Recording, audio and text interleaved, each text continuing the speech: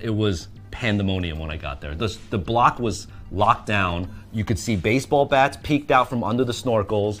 You could see knives. I saw a machete. And I was just like, what the fuck is going on here?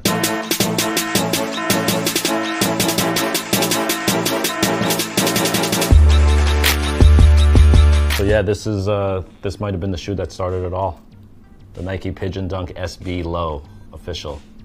I think after the shoe came out, you know, like a whole different generation of people and a whole different demographic of person got into buying sneakers. Before, most people bought sneakers because they needed something comfortable to walk around in, and when a pair of shoes died, they'd buy another pair of shoes. That's how people consumed footwear. But there was a small group of people that would buy as much shoes as they could get their hands on. And I think after this shoe came out, that group of people ballooned. You know, now it seems like every other weekend there's 10 different things dropping that are store exclusives or store collaborations that are either built to get people in the store or built to draw attention to a particular silhouette. It was definitely a lot harder to find, and it was definitely a little more authentic. This was part of the um, the Art of the Dunk series, so it was. Um, it was, uh, I think, the 25th anniversary of the dunk, and it was actually uh, a city-based dunk. So Nike came to me and said, "We want you to design a, a dunk that's dedicated to New York City."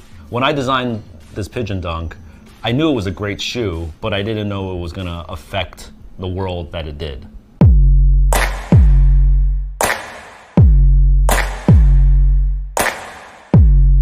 honestly, nobody knew what was going to happen. So we just we did it like any other release. We picked a release day, announced the release day, and then was preparing ourselves to sell it, not knowing what was going to happen. Yeah, it was a really whack three days.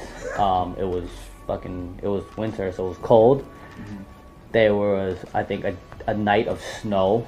It was really terrible. Um, but like it got crazy quick. People had, were already putting them up on eBay, like the ones that were sold before. So people knew the kind of resale value for shoes. Like this was kind of when those guys were coming out of the woodwork, like, oh, I can make some money off this. I'm gonna get this shoe. There were campouts before, so people camped out for Jordans. So I understood the concept of a campout, but it was weird that they were camping out for something that hadn't been seen. Sight unseen, they were camping out. Because I never released a picture of this, and there was none leaked to my knowledge. So it was just the fact that Staple was working on a dunk and there's pigeon shit. That's the only clue that they got. This is this is where the kids started lining up like four days prior. So they were like they were tying their lawn chairs and tents yep, to this yep, gate here. Yep. You know, um, and then like at night, sometimes they would they'd have their car parked over here and just jump in at night because it was freezing. Yeah, I remember it was, it was right. This. It was hectic. There was fights every night, but after a while, you started bonding with the people next to you. You try to hold your ground and make sure no one comes within your area, you sort of like formed alliances or some shit like that, you know? Every day leading up four days in, a couple of more kids were lining up. And I would say probably by the night before, there was probably like 30 to 40 kids sleeping out there, right? And I, I bought them all pizzas. Like I left work late that day. And then I went home. Next morning I came back at like 10 o'clock. It was pandemonium when I got there. The, the block was locked down and I was just like, what the fuck is going on here? You know, it was it was really scary. There was obvious like thugs coming to the scene. At the end of the day, we're targets. Everyone online has around at least 300 bucks on them. You could just see heavy snorkel jackets.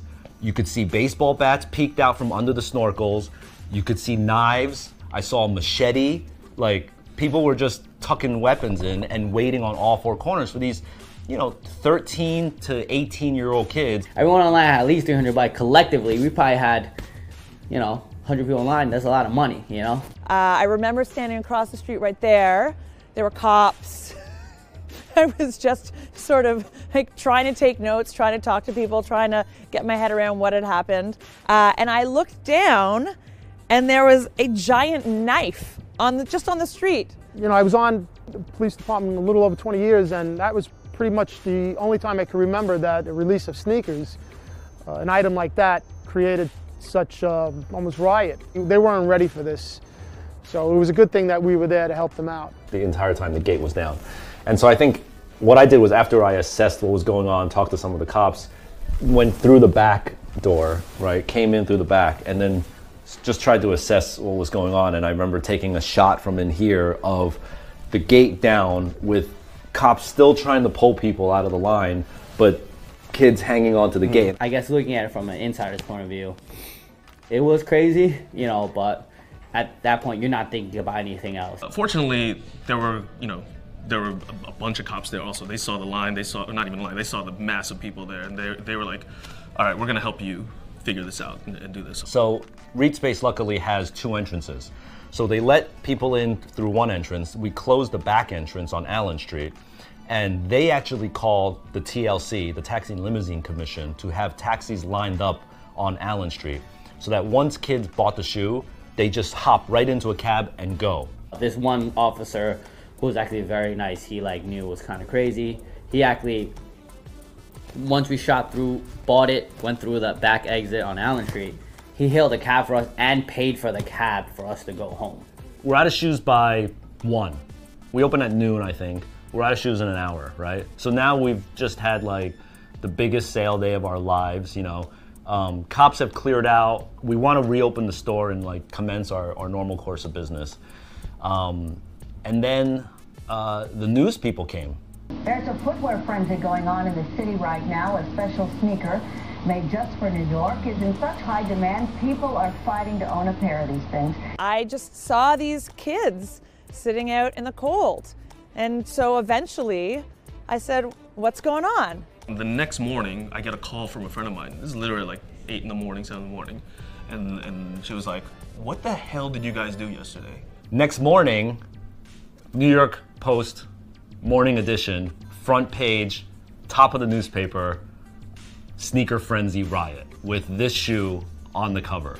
You know, as far as kind of the, the sneaker world goes, suddenly, you know, the news was talking about kids reselling sneakers. I mean, it was it was an overnight change. You know, like shoppers at Reed Space were all like OG sneakerheads, streetwear heads. You know, you could see them. Like you, you could just see what they wear, and you know.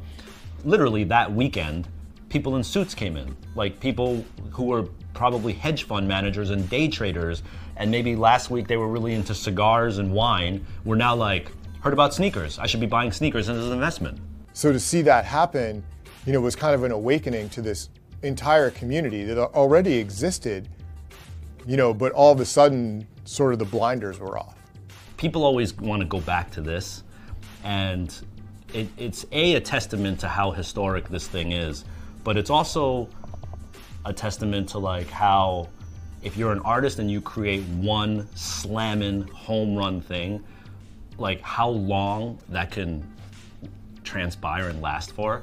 And it's there is always that double-edged sword, but it's it's a respect that I have for how great this thing is, but it's also like, damn, I wish I can like, you know, be known for other things too. But then I'm like, no, I'm not gonna look a gift horse in the mouth. Like it's pretty amazing to be known for this one thing. I think a 10 year mark, like if you if people still talk about it 10 years later, it's probably gonna be forever maybe. I don't know. Like it's it, there's no stopping it after 10 years, you know.